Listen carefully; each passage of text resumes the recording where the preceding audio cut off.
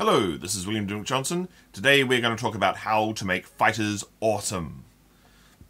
Because if you're playing a fighter, everyone eventually does play a fighter, fighters are incredibly popular. You are playing the action movie hero. You're not the wizard whose general literary roles provide some backup support, or the white wizard, aka your cleric, your bard, or your stunting, thieving Bagginses, or your thieves, your ne'er-do-wells. You are the hero. You are the one out in front. You are the one outshining everyone else. And you don't need those fancy powers or abilities that those some called subclasses or add-on, tack-on classes like rangers, paladins, barbarians have. You just get down and dirty and do the fighting. So you've got a bit of extra challenge to make your class awesome. Because whatever version of Dungeons and Dragons you are playing, fighters do one thing well, they fight. And generally the design's for, well, you can add everything else with your imagination. After all, it's used to say products of your imagination on the front. Presumably they were guessing that people would use their imagination and not whine about how they didn't have any other extra abilities. So you've got to use your imagination. You've got to show how your character is the action movie hero. How they are Sean Bean. How they are Arnold Schwarzenegger. How they are... or even Keanu Reeves. Some of his characters are fighters. Rather foolish bland fighters, but fighters nevertheless. What makes your character special?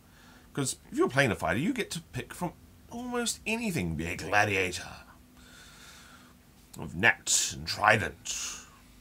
You can be a spearman who fights in the fought on the wall, with a shield and panoply and a large spear. You can be some brutal thug who enforces the the gang's dictates. There are no slunking shadows for you. You come out with your club and you break legs. You're a mean, dirty fighter or you're a mat, you're an aspiring warlord, or you're a bold knight. You can be any of these things. You can be the gunman, the person who knows all the guns.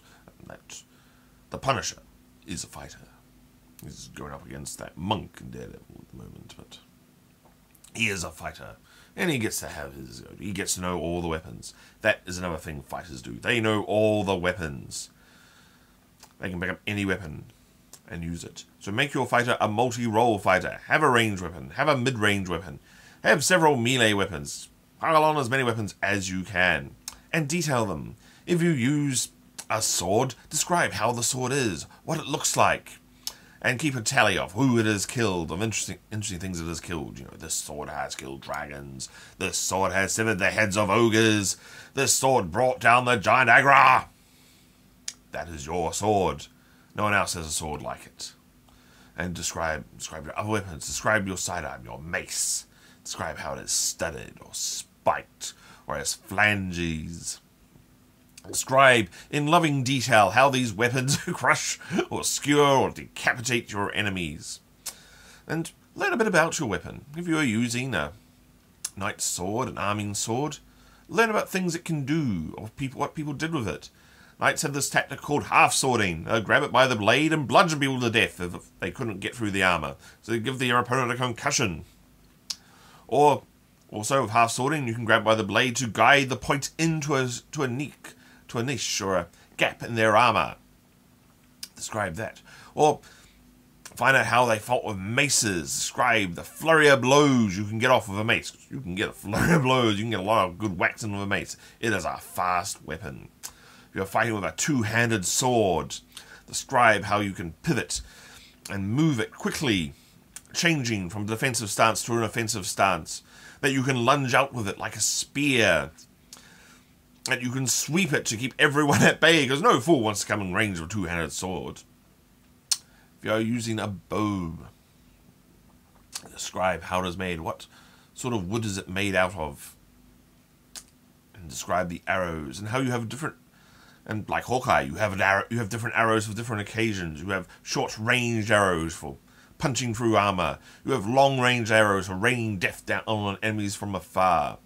You have arrows with wide blades to skewer and cut apart lightly armored fools. You have arrows with short, tapered tips for punching through armor and going going out the other side. Even describe your weapons. Describe how you use them, because this is what you do. You are the fighter. You get to shine when you fight.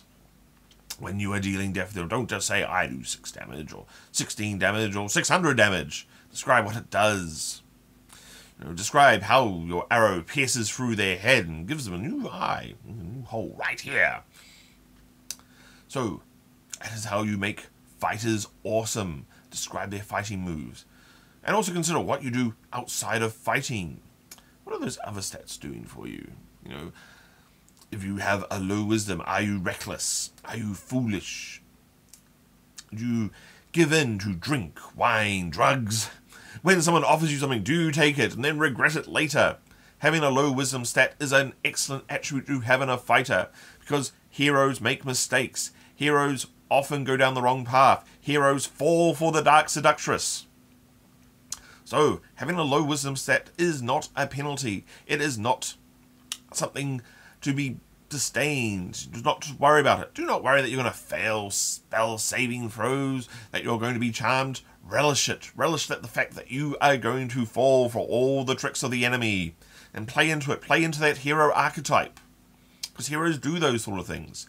They make those mistakes. So a low wisdom is often a great stat in a fighter and something you can play up. Play up that you are foolish, that you make that you don't always get things. Or if you're a got a low intelligence stat, play that up. Play up the fact that you are illiterate. That you're at you can't read stuff. That you don't read stuff. And people go you get you know books are valuable, but you don't know why.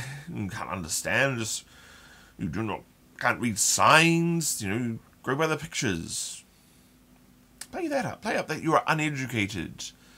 If your character is uneducated, if your character is educated, your character is smart and is clever, like they're an engineer or an artillerist or a strategist, play up that intelligence, play up that cleverness, come up with plans, use plans to defeat your enemies.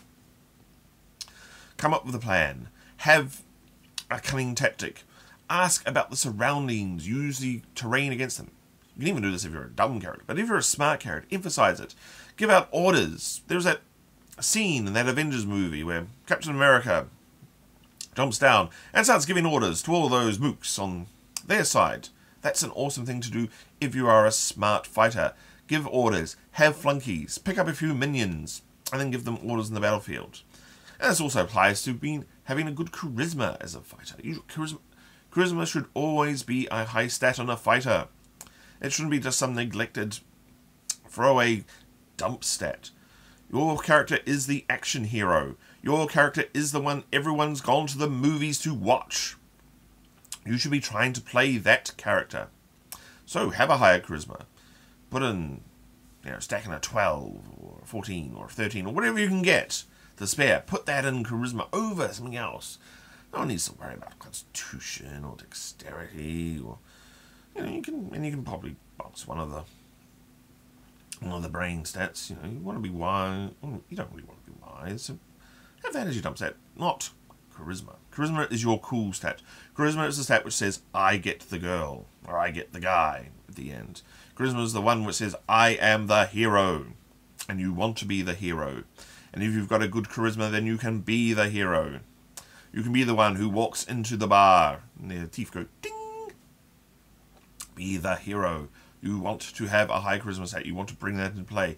Find some charisma skill. Intimidate is great for a fighter, and that runs off charisma.